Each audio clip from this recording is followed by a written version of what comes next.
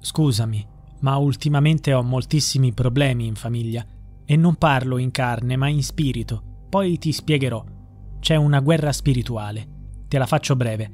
Nella mia famiglia ultimamente sono successe cose strane. Ora sono venuti due fratelli di Dio e stanno liberando mia madre e mio fratello che hanno dei demoni molto maligni addosso. La mia famiglia si sta distruggendo per colpa della mia indifferenza.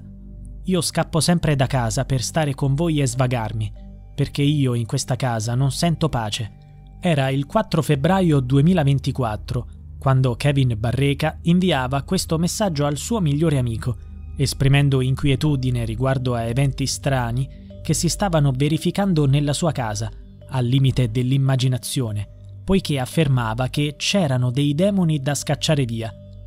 Questo tragico racconto culminò nell'omicidio di Kevin stesso, di suo fratello Emmanuel e della loro madre, Antonella Salamone. I due ragazzi furono rinvenuti morti nella loro camera da letto ad Altavilla Milicia, Palermo, mentre il corpo della donna fu ritrovato bruciato e sepolto nel giardino di casa. Il primo individuo a essere arrestato per questa tragica serie di eventi fu Giovanni Barreca, muratore, marito di Antonella e padre dei due ragazzi. In seguito furono arrestati Sabrina Fina e il marito Massimo Carandente, i fratelli di Dio, che condividono con Barreca un'ossessione per la religione. Infine, la figlia maggiore di Barreca e Antonella Salamone fu anch'essa arrestata. Questa notizia ha profondamente sconvolto la Sicilia e l'intera Italia. La ragazza, unica sopravvissuta della famiglia, inizialmente collaborò con gli investigatori per far luce sulla vicenda. Hanno fatto un esorcismo, c'era Satana in casa. Col passare dei giorni la sua situazione si è progressivamente aggravata. L'ipotesi che si sta delineando è che la ragazza stessa potrebbe aver preso parte agli atroci eventi verificatisi in quella casa. A illustrare questa prospettiva è stato Ambrogio Cartosio, procuratore di Termini Imerese, il quale ha fornito questa valutazione. La ragazza è stata coinvolta in questa situazione di parossismo religioso, e ha partecipato a una serie di riti che sono state torture sulla madre e sui fratelli. La diciassettenne si è presentata alla procura per i minori tre giorni dopo la scoperta dei cadaveri, quando già era stata collocata in una comunità protetta. In quella circostanza ha fatto rivelazioni scioccanti che hanno portato il magistrato a emettere nei suoi confronti un fermo per omicidio pluriaggravato in concorso e per la partecipazione alle torture. La giovane avrebbe, in sostanza, ammesso il proprio coinvolgimento nei tragici eventi. Durante l'interrogatorio ha narrato gli avvenimenti avvenuti nella sua abitazione. Ha affermato che da anni nella villetta aleggiavano presunti demoni e che a causa di queste presenze maligne erano accadute nefandezze alla sua famiglia. Ha ribadito queste affermazioni al magistrato. Rifarei tutto, credo in Dio e nei demoni il diavolo era entrato in casa, era nei miei familiari, dovevo salvarli. Un racconto lucido e distaccato emerge dopo giorni di silenzio.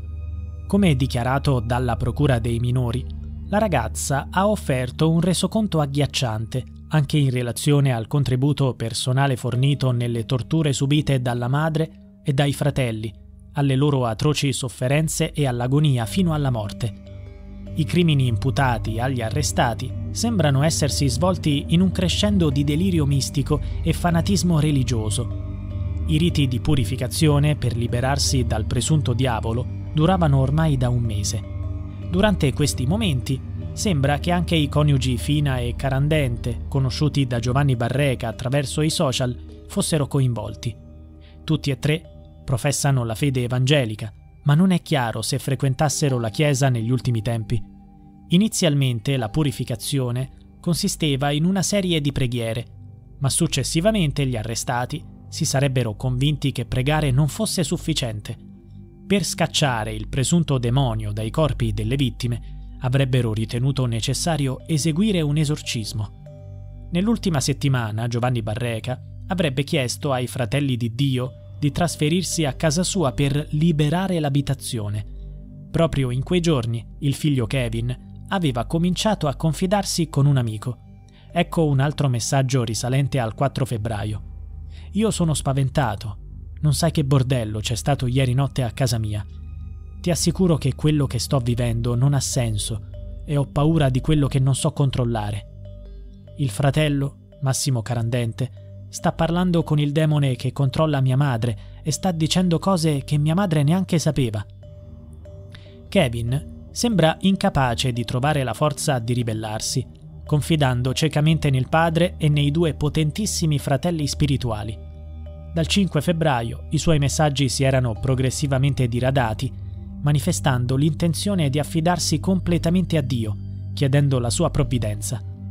L'8 febbraio la corrispondenza si era improvvisamente interrotta, verosimilmente nel momento in cui anche lui era stato costretto a subire indicibili sevizie. La sorella maggiore, anch'essa arrestata, ha rivelato ulteriori dettagli circa le atroci violenze subite dalle vittime.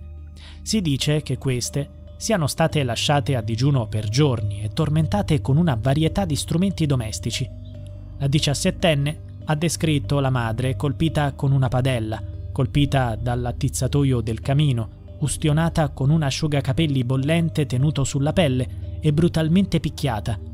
Addirittura il phon veniva inserito nella bocca delle vittime, causando ustioni e indicibili tormenti.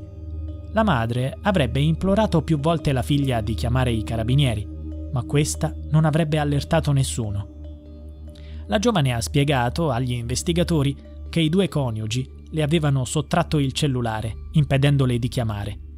Sembra, però, che il telefono le sia stato sottratto solo alla conclusione delle atrocità il piccolo Emmanuel è stato costretto a ingurgitare del caffè amaro al fine di indurlo al vomito, con l'intento di scacciare il presunto demonio dal suo fragile corpo.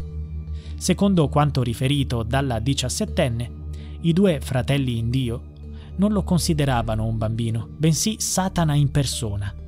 Kevin, invece, veniva legato alle mani e ai piedi con delle catene dietro la schiena, impedendogli la respirazione nonostante avesse strenuamente cercato di difendersi, attaccando la coppia carandente fina. L'intervento dei carabinieri è stato sollecitato da un allarme lanciato da Giovanni Barreca, il quale aveva chiamato il 112 e successivamente si era fatto arrestare. Mia moglie era posseduta, in pratica è morta. Frasi deliranti e prive di logica emergono dalla telefonata, in cui l'uomo esprime ancora la ferma convinzione di essere perseguitato dai demoni. A quel punto i militari, raggiungendo l'uomo a Casteldaccia, un paese nelle vicinanze, si erano precipitati nella villetta dell'orrore. Qui hanno scoperto i corpi delle tre vittime e la diciassettenne superstite chiusa nella sua camera. Gli altri due complici avevano già abbandonato l'abitazione, forse nella speranza che tutta la colpa ricadesse esclusivamente sulla giovane.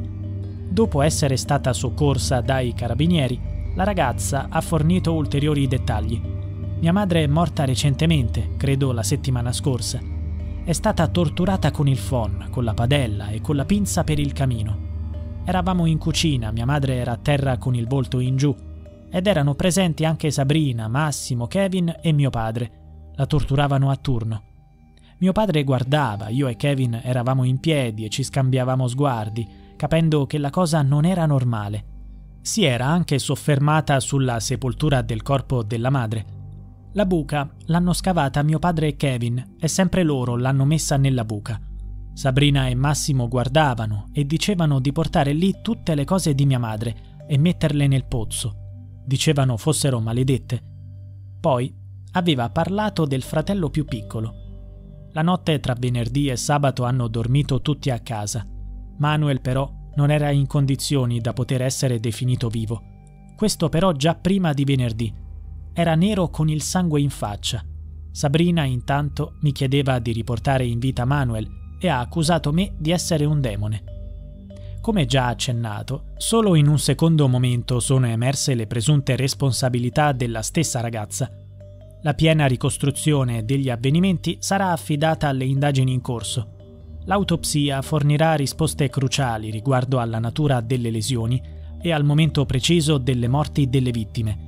Risulta impressionante il fatto che gli arrestati, ancora oggi, non sembrano completamente consapevoli delle atrocità perpetrate. Il giudice per le indagini preliminari ha descritto la particolare pervicacia criminosa degli indagati, sottolineando la rete di fedeli frequentata dagli assassini. Pertanto si sta indagando alla ricerca di possibili complici. Giovanni Barreca seguiva e condivideva i post di Roberto Amatulli, un ex parrucchiere di Bari che si autoproclama pastore evangelico e guaritore, nonché ministro di Cristo Gesù ripieno dello Spirito Santo. Tra i seguaci di Amatulli figurano anche i fratelli di Dio. Il Consiglio delle Chiese Evangeliche di Bari si è distanziato da Amatulli, sostenendo che egli non appartiene alla comunità evangelica riconosciuta, ma agisce in proprio. Amatulli avrebbe celebrato battesimi ed eventi di evangelizzazione sulle spiagge, promettendo guarigioni, miracoli e persino esorcismi. Questa attività di cristoterapia, come la definiscono, viene svolta anche attraverso videochiamate o trasmissioni live sui social media. Amatulli, a sua volta, ha respinto le accuse di essere associato a Barreca e ai fratelli di Dio.